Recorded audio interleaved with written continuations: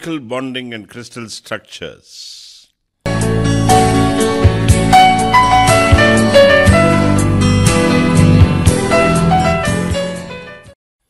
Objective Chemistry of the crystals is best understood by studying the nature of chemical bonding. Understanding of the crystal structures of some crystalline solids need the study of principles of ionic bonding.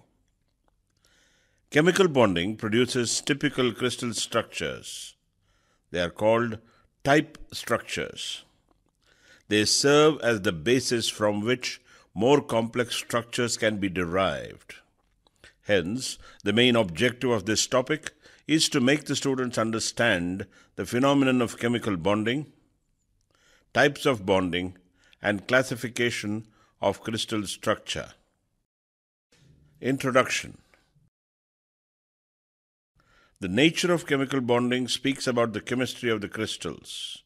The chemical bond is the result of the attraction between the two or more atoms of the chemical substances. Combining of two or more atoms produces a chemical compound. A stable compound occurs when the total energy of the combination has lower energy than the separated atoms. Now, let us discuss how these atoms and molecules hold together. Atoms and molecules of the substances are held together by bonds. There are different kinds of bonds. The type of bond seen in elements and compounds depends on the chemical properties as well as the attractive forces governing the atoms and molecules. The types of chemical bonds are ionic bond, covalent bond, metallic bond, van der Waals bond, and hydrogen bond. Electron properties. In order to understand bonds, one must be familiar with electron properties, including valence shell electrons. The outermost layer or shell of an electron represents the valence shell of an atom. Though today scientists generally agree that electrons do not rotate around the nucleus, it was thought throughout history that each electron orbited the nucleus of an atom in a separate layer or shell. Today, scientists have concluded that electrons hover in specific areas of the atom and do not form orbits. However, the valence shell is still used to describe electron availability. The octet and duet rules.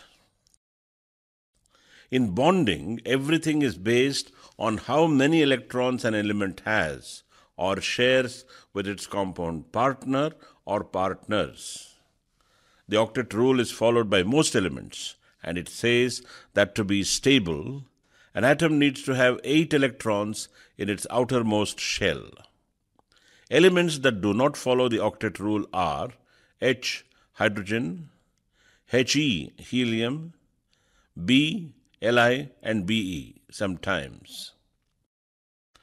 Lithium gives up an electron, whereas the other elements listed here gain one.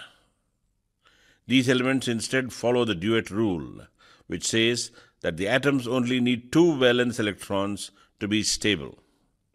When bonding, stability is always considered and preferred. Therefore, atoms bond in order to become more stable than they already are. Not all atoms bond the same way, so we need to learn the different types of bonds that atoms can form. Types of chemical bonds. There are five types of chemical bonds that are recognized.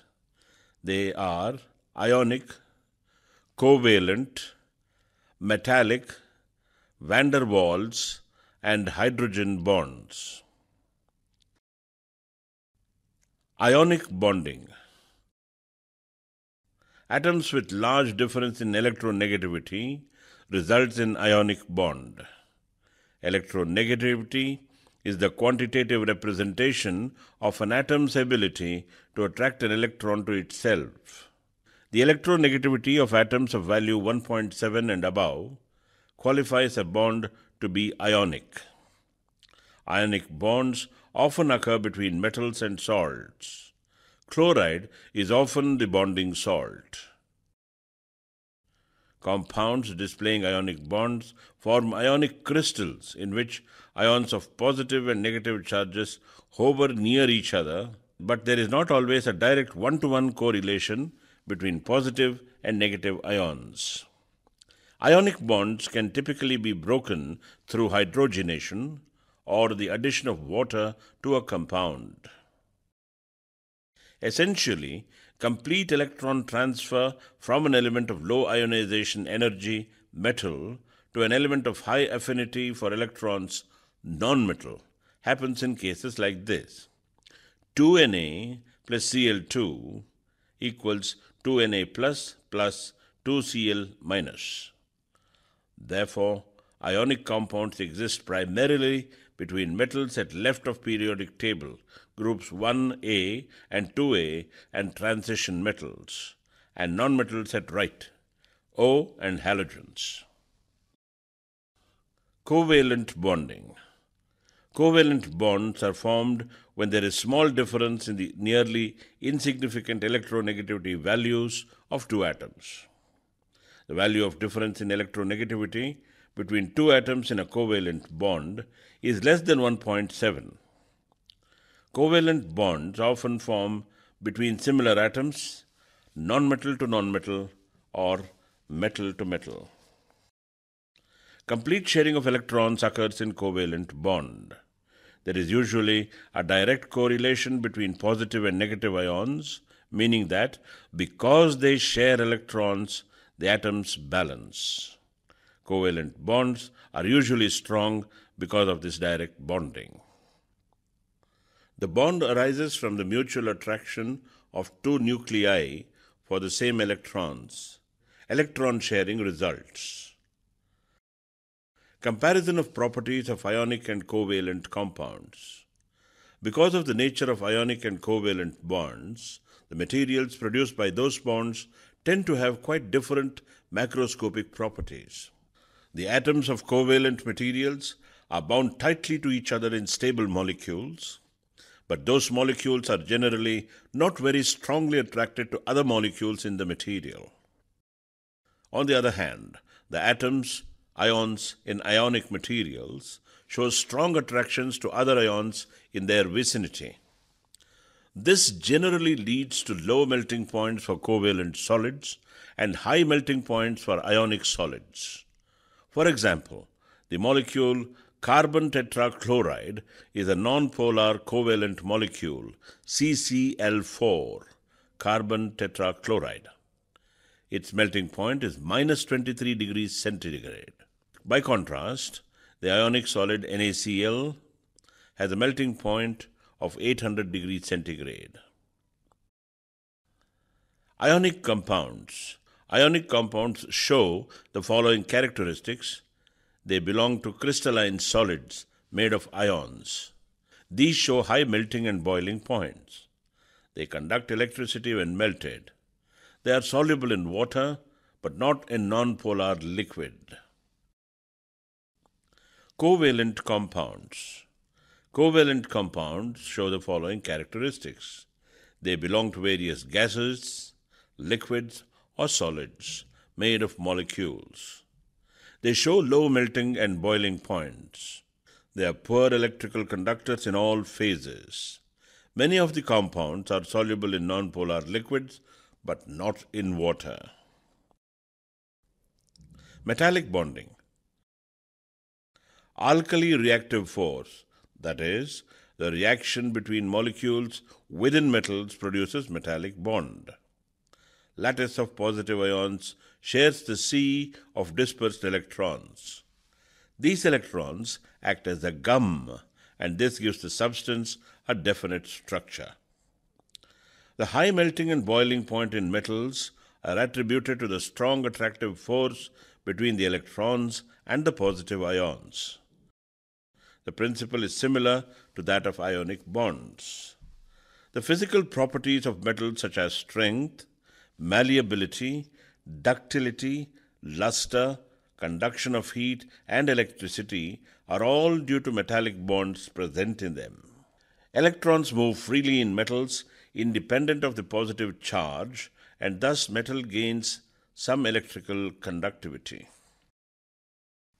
It allows the energy to pass quickly through the electrons, generating a current. Heat conduction works on the same principle. In metallic bonded substances, the transfer of energy is faster due to free electrons than the substances which are covalently bonded. The nonmetals like graphite are good conductors of electricity. The reason is, like some other metals, they have free electrons, and the conduction of electricity is more in aqueous ionic compounds and molten material as they contain free moving ions. Strength of the bond. In metals, high energy is required to dissociate the strong attractive force between the atoms of the metal. Therefore, metals often have high boiling points, with tungsten 5828 Kelvin being extremely high. A remarkable exception are the elements of the zinc group Zn zinc, Cd cadmium, and Hg mercury. The electron configuration resemble a noble gas configuration like that of helium more and more when going down in the periodic table because the energy distance to the empty np orbitals becomes larger. These metals are therefore relatively volatile and are avoided in ultra high vacuum systems. Otherwise, metallic bonding can be very strong, even in molten metals such as gallium. Even though gallium will melt from the heat of one's hand just above room temperature, its boiling point is not far from that of copper.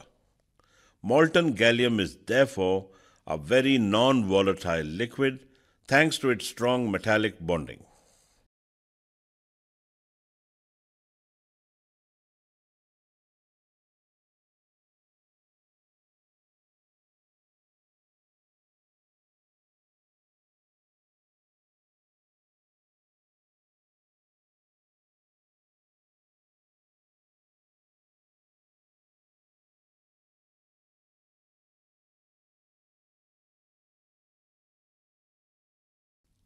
Given the high cooling rates and appropriate alloy composition, the metallic bonding can occur even in glasses with an amorphous structure. Solubility and compound formation. Water and organic solvents cannot dissolve metals unless a reaction takes place in them. Typically, this is an oxidation reaction that takes the metal atoms of their itinerant electrons destroying the metallic bonding. However, metals are often readily soluble in each other while retaining the metallic character of their bonding. Gold, for example, dissolves easily in mercury, even at room temperature. Even in solid metals, the solubility can be extensive. If the structures of the two metals are the same, there can even be complete solid solubility, as in the case of electrum, the alloys of silver and gold. At times, however, two metals will form alloys with different structures than either of the two parents. One could call these materials as metal compounds, but because materials with metallic bonding are typically not molecular, Dalton's law of integral proportions is not valid, and often a range of stoichiometric ratios can be achieved. It is better to abandon such concepts as pure substance or solute. The study of such phases has traditionally been more the domain of metallurgy than of chemistry, although the two fields overlap considerably. Optical properties. Light is the physical cause of sensation of sight. It consists of a combination of an electrical and a magnetic field. In metallic bonding, electrons are excited by the electrical field. The result is that photons are not able to penetrate very far into the metal and are typically reflected. They bounce off, although some may also be absorbed. This holds equally for all photons of the visible spectrum, which is why metals are often silvery white or grayish with the characteristic specular reflection of metallic luster. The balance between reflection and absorption determines how white or how grey they are, although surface tarnish can obscure such observations. Silver, a very good metal with high conductivity, is one of the whitest. Notable exceptions are reddish copper and yellowish gold. The reason for their color is that there is an upper limit to the frequency of the light that metallic electrons can readily respond to, the plasmon frequency. At the plasmon frequency, the frequency dependent dielectric function of the free electron gas goes from negative, reflecting, to positive, transmitting. Higher frequency photons are not reflected at the surface and do not contribute to the color of the metal. There are some materials like indium tin oxide, ITO, that are metallic conductors, actually degenerate semiconductors, for which this threshold is in the infrared, which is why they are transparent in the visible but good mirrors in the IR, infrared. For silver, the limiting frequency is in the far ultraviolet, but for copper and gold, it is closer to the visible. This explains the colors of these two metals. At the surface of a metal, resonance effects known as surface plasmons can result. Surface plasmon resonance, SPR, is the collective oscillation of electrons in a solid or liquid stimulated by incident light. The resonance condition is established when the frequency of light photons matches the natural frequency of surface electrons, oscillating against the restoring force of positive nuclei. SPR in nanometer sized structures is called localized surface plasmon resonance. They are collective oscillations of the conduction electrons like a ripple in the electronic ocean. However, even if photons have enough energy, they usually do not have enough momentum to set the ripple in motion. Therefore, plasmons are hard to excite on a bulk metal. This is why gold and copper still look like lustrous metals, albeit with a dash of color. However, in colloidal gold, the metallic bonding is confined to a tiny metallic particle, preventing the oscillation wave of the plasmon from running away.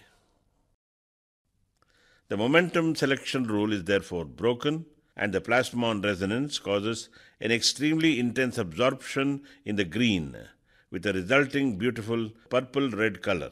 Such colors are of orders of magnitude more intense than ordinary absorptions seen in dyes and the like that involve individual electrons and their energy states.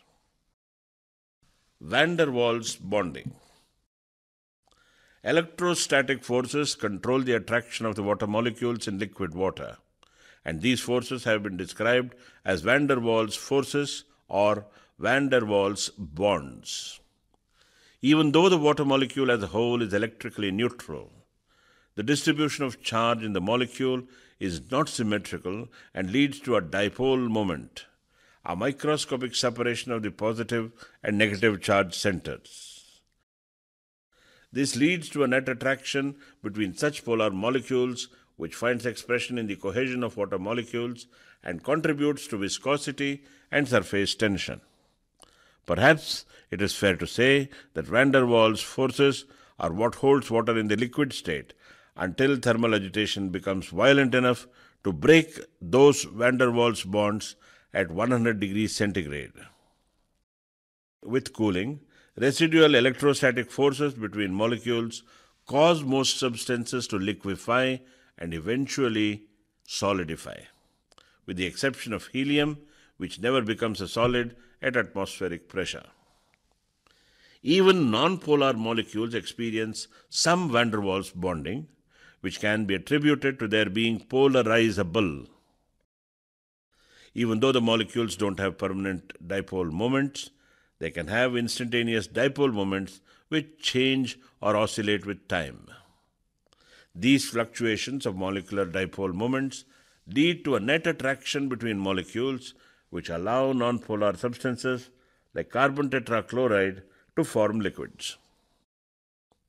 Examination of the dipole electric field shows that the electric field from one instantaneous dipole will tend to polarize a neighboring molecule such that it will be attracted, sort of the electrical analog to a bar magnet magnetizing a paper clip so that it will be attracted to the magnet. This happens regardless of which pole of the magnet is brought close to the paper clip. The weaker van der Waals forces in nonpolar liquids may be manifested in low surface tension and low boiling points. Hydrogen bonding. The intermolecular force creates hydrogen bonding. Hydrogen bonding differs from other types of bond since it is a force of attraction between a hydrogen atom in one molecule and a small atom of high electronegativity in another molecule. That is, it is an intermolecular force, not an intramolecular force as in the common use of the word bond. When hydrogen atoms are joined in a polar covalent bond with a small atom of high electronegativity such as O, F or N, the partial positive charge on the hydrogen is highly concentrated because of its small size. If the hydrogen is close to another oxygen, fluorine or nitrogen in another molecule, then there is a force of attraction termed a dipole-dipole interaction. This attraction or hydrogen bond can have about 5% to 10% of the strength of a covalent bond. Hydrogen bonding has a very important effect on the properties of water and ice. Hydrogen bonding is also very important in proteins and nucleic acids and therefore in life processes. The unzipping of DNA is the breaking of hydrogen bonds, which help hold the two strands of the double helix together. Hydrogen bonds only form between hydrogen and oxygen, O, nitrogen N, or fluorine F. Hydrogen bonds are very specific and lead to certain molecules having special properties due to these types of bonds. Hydrogen bonding sometimes results in the element that is not hydrogen, oxygen for example, having a lone pair of electrons on the atom, making it polar. Lone pairs of electrons are non-bonding electrons that sit in pairs on the central atom of the compound. Water, for example, exhibits hydrogen bonding and polarity as a result of the bonding. Because of this polarity, the oxygen end of the molecule would repel negative atoms like itself, while attracting positive atoms like hydrogen. Hydrogen, which becomes slightly positive, would repel positive atoms like other hydrogen atoms and attract negative atoms such as oxygen atoms. This positive and negative attraction system helps water molecules stick together, which is what makes the boiling point of water high, as it takes more energy to break these bonds between water molecules. Crystal structures. The crystal structures of some crystalline solids can be understood by the principles of close packing. They are called type structures because they serve as the basis from which more complex structures can be derived. The type structures are classified on the basis of ratio of the constituents A and X of the crystals. AX type crystal structures. In AX type structures, A denotes the cation and X the anion. There are several different crystal structures for AX compounds. Each is normally named after a common material that assumes the particular structure. Under this type, we will discuss the structures of rock salt NaCl, CSCl cesium chloride, sphalerite, and wurtzite, both being polymorphs of zinc sulfide, and niccolite NiAs. Rock salt structure. Perhaps the most common AX crystal structure is the sodium chloride NaCl or rock salt type. The coordination number for both cations and anions is 6 and therefore the cation anion radius ratio is between approximately 0.414 and 0.732. A unit cell for this crystal structure is generated from a face-centered cubic arrangement of anions with one cation situated at the cube center and one at the center of each of the 12 cube edges. An equivalent crystal structure results from a face-centered cubic FCC arrangement of cations. Thus, the rock salt crystal structure may be thought of as two interpenetrating FCC lattices, one composed of the cations, the other of anions. Some of the common materials that form with this crystal structure are NaCl sodium chloride, MgO magnesium oxide, MnS manganese sulfite, LiF lithium fluoride, and FeO iron oxide. Cesium chloride structure.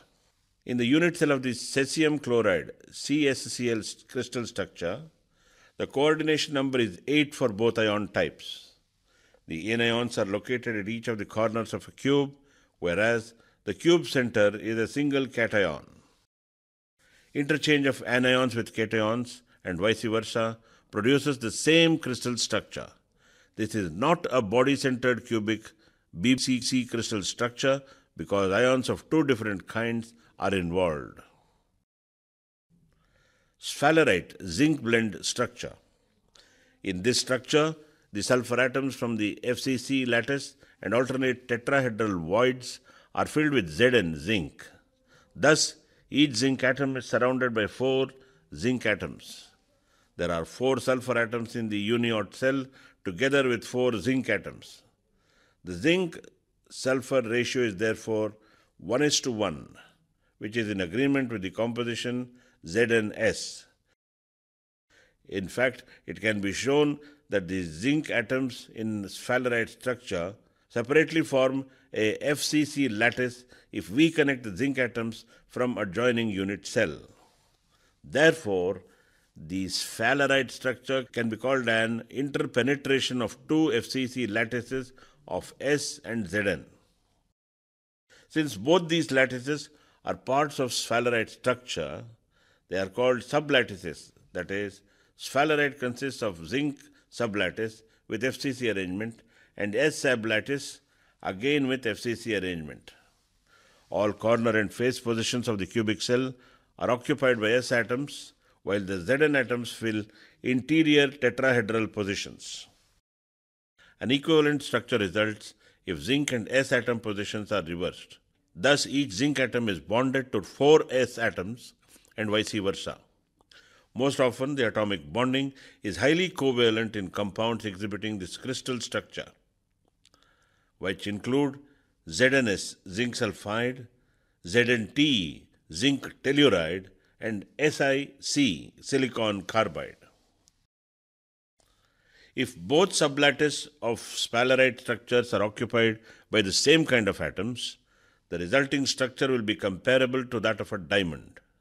The difference is that all the tetrahedral positions are occupied by carbon atoms, that is, Ra divided by Rx equals Ra divided by Ra equals 1. Here, X and A have no difference. Indeed, this structure can be considered to be made up of corner sharing tetrahedra, wherein each carbon atom is surrounded by four carbon atoms.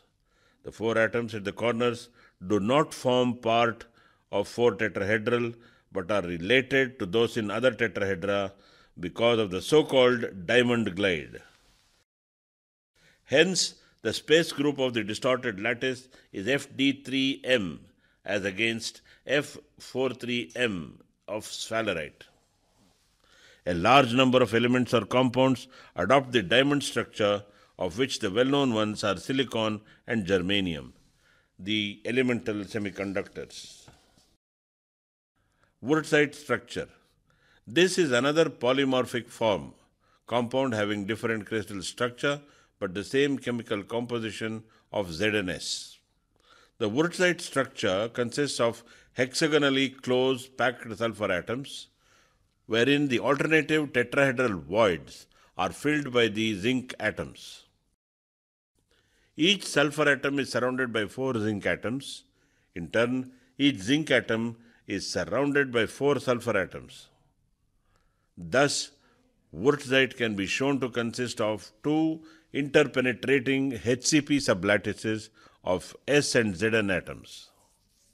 The difference between the wurtzite and sphalerite structure is in the localized arrangement.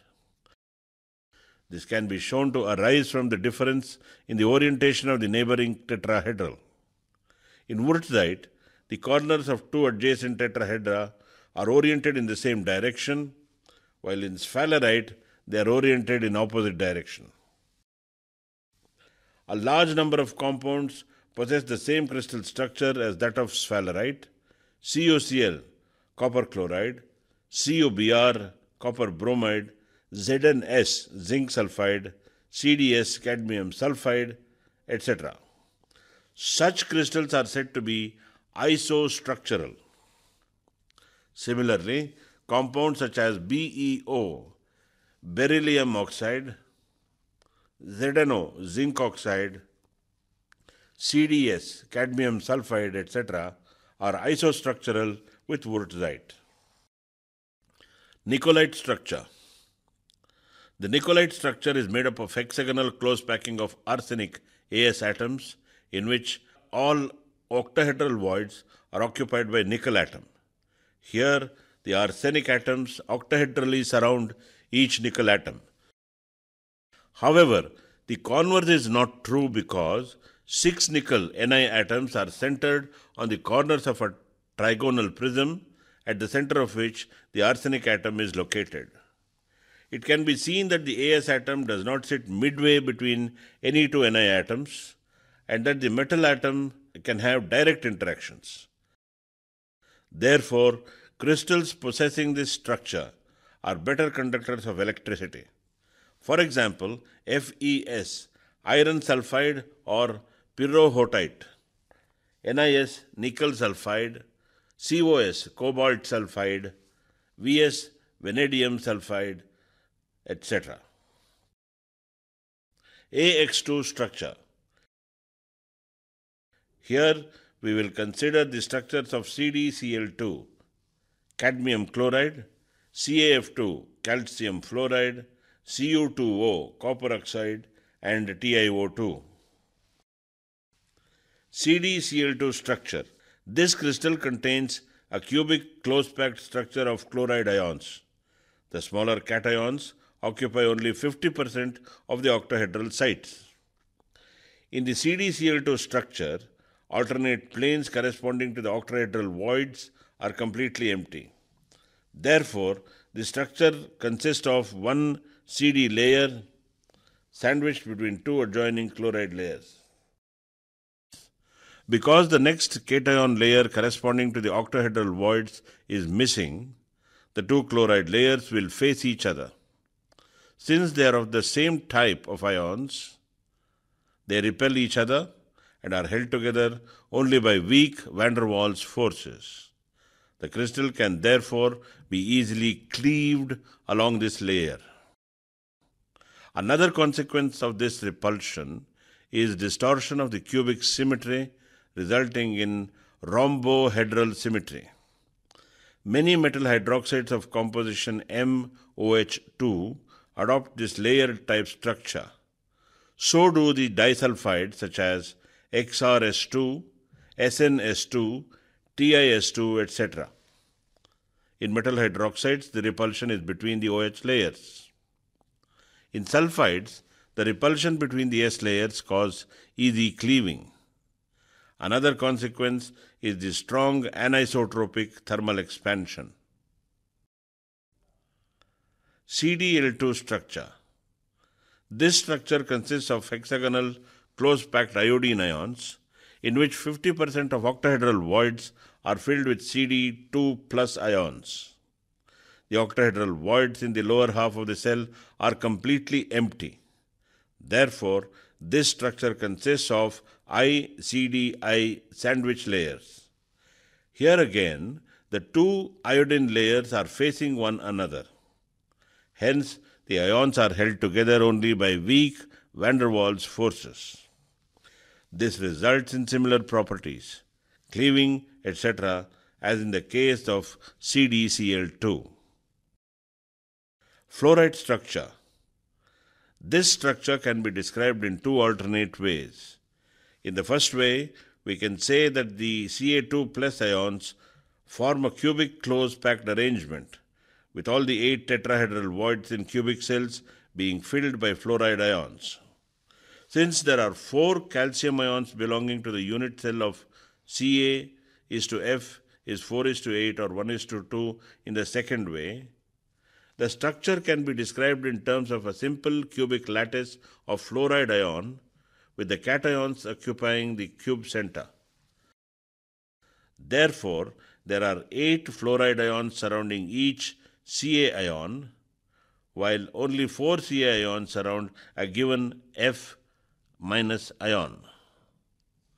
The fluoride structure is adopted by AX2 compounds where Ra divided by Rx normally exceeds 0.73, although there are exceptions. For example, BaF2 1.01, SrF2 0.84, BaCl2 0.74, and ThO2 0.73 are normal fluoride structures, whereas HfO2 hydrofluoric oxide 0.56, ZrO2 0.56, and CeO2 0.67 are exceptional in possessing the fluoride structure. Cuprite structure. In cuprite structure, the oxygen ions are arranged in cube where all the tetrahedral voids are foiled by cations, that is, Cu plus. The ratio of cation to anion, A is to X, is 2 is to 1, and this is therefore considered as an example of A2X type structure. Other examples are Na2O, LiS2, Li2O, etc. Comparing this arrangement with that of CaF2, it is possible to understand that Cu plus ions form a simple cubic lattice in which the oxygen atoms are located at cubic centers. As a result of this, cuprite structure is called an anti-fluoride structure. Therefore, such a reversal of positions of anions and cations in the structure leads to an anti-structure or anti-type. This is a common feature encountered in many other crystal structures. TiO2 structure, rutile. This structure contains octahedrally coordinated cations, that is, Ti4 plus, titanium 4 plus ions, surrounded by 6 oxygen ions, surrounded by 3 titanium ions. Thus, it differs considerably from the NaCl structure. Therefore, the symmetry is changed to the tetragonal system. The octahedra share the corners in the A and B directions, wherein the C direction they share the edges. The metal ions in the C direction can have direct interaction, giving rise to special physical properties in compounds which have the rutile structure. The rutile structure is adopted by AX2 compounds, where Ra divided by Rx is in the range 0.41 0.73. In TiO2, it is 0.49. A large number of solids are isostructural to rutile. For example, SnO2 stannous oxide, MnO2 manganese oxide, MgF2 magnesium fluoride, PbO2, etc. Conclusion Chemical bonds help us to understand the chemistry of the crystals. Ionic bonded crystals exhibit hardness and high melting point, but their electrical conductivity is low. Covalent bond produce definite geometrical configuration of the atoms. This results in rigid structure. Freely moving valence electrons in the metal results in high electrical conductivity in metallic bonds. Van der Waals bond produce mostly odd shaped molecules and crystals, are characteristically soft, and are of low melting temperatures. Unlike other chemical bonds, hydrogen bond is an intermolecular force which is helping in keeping the molecules together. Hydrogen bond helps to hold the two strands of the DNA molecules and also helps in holding the molecules of proteins and nucleic acids together. The crystal structures of some crystalline solids can be understood by the principles of close packing. They are called type structures because they serve as the basis from which more complex structures can be derived.